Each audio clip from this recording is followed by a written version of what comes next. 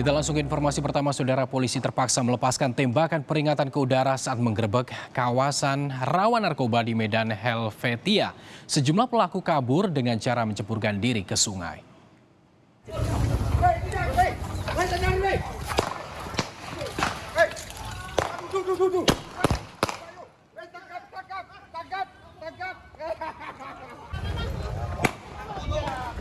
Pria yang diduga merupakan terduga pengedar narkoba ini berupaya kabur dari sergapan petugas.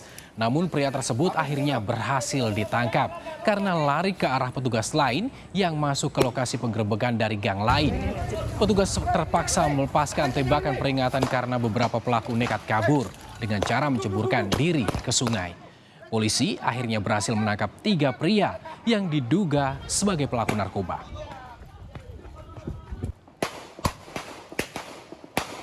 Biar aku main di air sama dia.